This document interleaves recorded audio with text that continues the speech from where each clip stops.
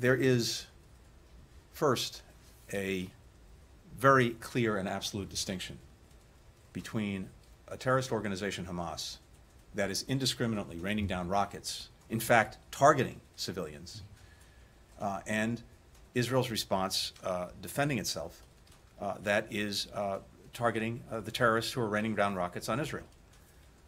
But whenever we see civilian casualties, and particularly uh, when we see uh, children caught in the, uh, in the crossfire, uh, losing their lives, uh, that, has, that has a powerful impact. And I think Israel has an extra burden in trying to do everything it possibly can to avoid uh, civilian casualties, even as it is rightfully responding uh, in defense uh, of its people.